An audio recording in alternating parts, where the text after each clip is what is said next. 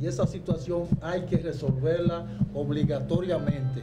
Sea, entonces este es un llamado que yo le hago directamente al presidente Danilo Medina,